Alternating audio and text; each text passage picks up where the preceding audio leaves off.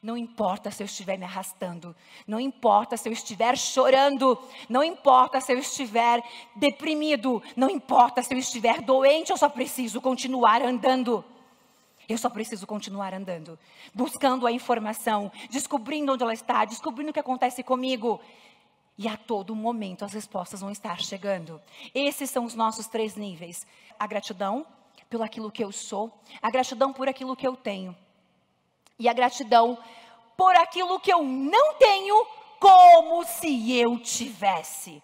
É isso que eu faço todos os dias da minha vida. Eu fecho os meus olhos todo santo dia. E eu agradeço por quem eu sou. Eu agradeço por quem eu por aquilo que eu tenho.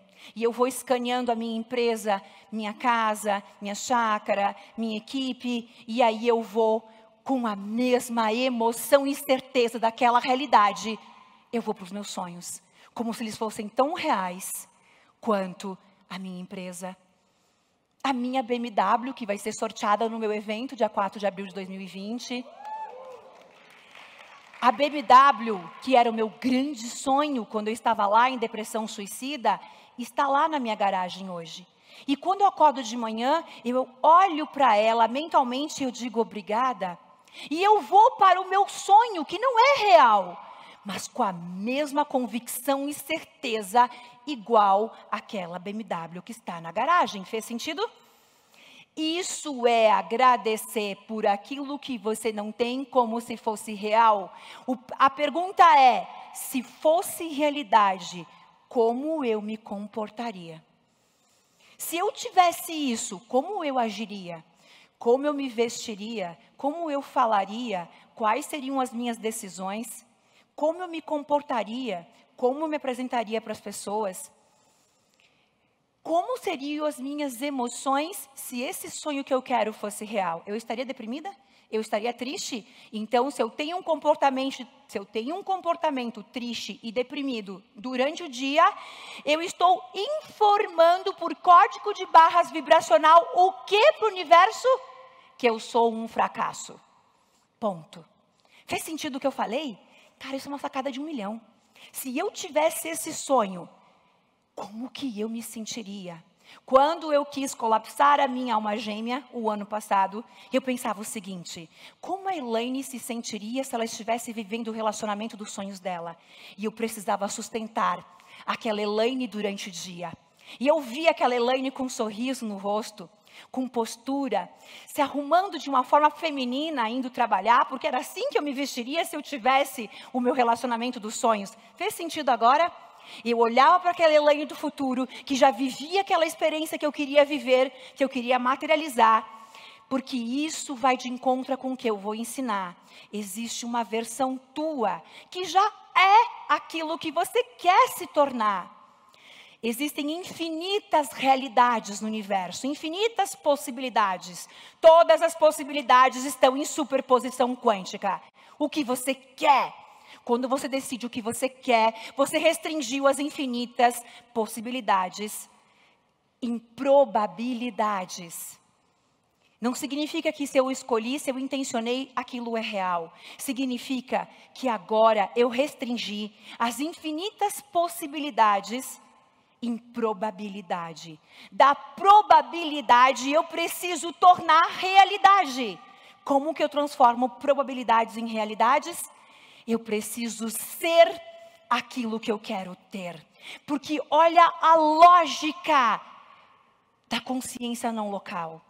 Se eu estou sentindo elétrica, magneticamente, o meu ser, o meu ter, o meu fazer, eu, eu, o meu ser é esse. O meu ter é aquilo que eu quero. E eu estou fazendo de acordo com isso. Percebem que a minha, a frequência do meu corpo, das, da, a, a minha frequência vibracional passa a ser a mesma da minha versão do futuro, que já é aquilo que eu quero ter? O que isso quer dizer? Que para as probabilidades se tornarem realidades, eu preciso agir como se fosse realidade. Eu preciso viver como se fosse realidade. Mas vocês entenderam a lógica do porquê? Porque Porque eu estou vibrando, porque eu estou falando, porque eu estou agindo. A soma de todos os meus comportamentos é de que isso é real. Não existe incongruência, não existe desalinhamento. Eu estou informando para o universo que eu sou isso. Eu sou, e se eu sou, eu tenho. Não é ter para ser, é ser para ter. Ser para ter por quê? Porque eu estou pensando, vibrando, agindo na mesma frequência, no mesmo alinhamento. Aqui estão as ondas: comprimento e amplitude de onda. Essa onda mais espaçada, essa é a onda das nossas frequências baixas. E quando estamos vibrando em alinhamento, amplitude e comprimento, amplitude e comprimento vibrando numa frequência maior. Acredito com que algumas pessoas já ensinaram isso para vocês, dupla fenda, colapso de onda, não? Hã? Alguém passou por aqui e ensinou isso? Vocês entendem a dupla fenda? Querem que eu explique? Aqui nós temos um. Eu não trouxe os slides. É, deixa eu ver. Consigo explicar por esse aqui. Como é que eu volto? Aqui. Olha ali, dupla fenda. Existem duas fendas, dois buracos. A dupla fenda é o seguinte: os cientistas pegaram um elétron, vamos simbolizar que é isso aqui. Existe uma fenda, um buraco, vamos fingir que é isso aqui, e jogou esse passador. Ele bateu lá. Ok? Ok, perfeito, bateu lá. Abriram um outro buraco, fenda, uma fenda num metal, como se fosse uma porta, um buraco.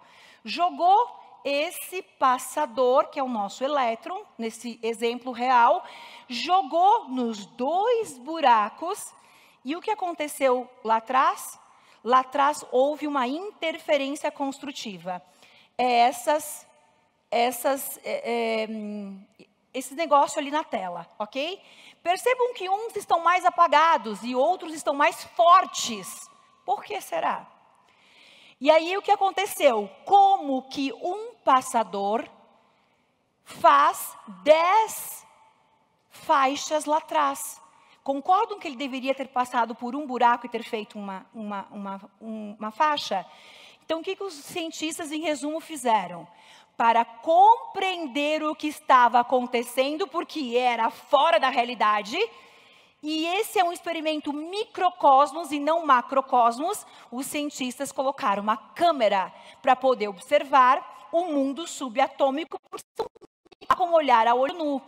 No momento que foi colocado uma câmera, joga das duas fendas, dos dois buracos, joga o passador. Pá, o que aconteceu? Uma lista. Tira a câmera, joga de novo. 20 listas. Entenderam? E a lógica é o seguinte: quando alguém está observando,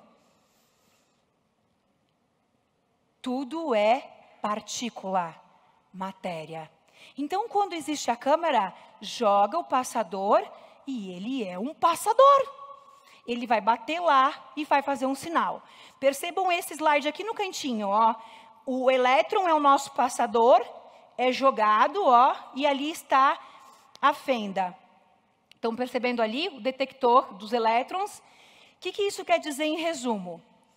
Quando ninguém estava olhando, tudo era onda.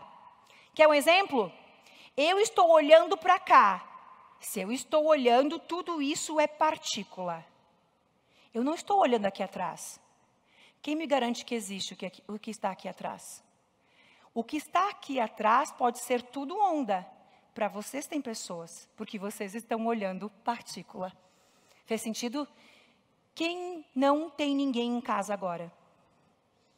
Quem garante que existe uma casa lá? É isso. É uma onda. Quem, quem quem constrói a partícula? Os sentidos, os cinco sentidos, e tudo vai se transformando. Por quê? Porque tudo é feito de átomos. Átomos são feitos de prótons, elétrons e nêutrons, carga positiva, carga negativa e carga neutra. E o núcleo do átomo, aí a gente pode ir para supercordas, para o bóson de Higgs, mas em exemplo, o que, que é? Energia. Se o átomo é feito de energia, tudo é feito de energia. E energia é onda. Energia é onda. Então, o experimento diz: sempre que você estiver olhando para um conflito, para um problema, o que, que vai acontecer com o problema? Aquilo que eu penso que vai acontecer. Isso aqui vai dar problema. Isso aqui vai piorar cada vez mais. O problema não existe. O que existe é informação da tua mente. Ei, espera! Se você gostou desse conteúdo, curta o vídeo, compartilha com os teus amigos, se inscreva no canal e ativa o sininho das notificações para receber todas as novidades. Um beijo!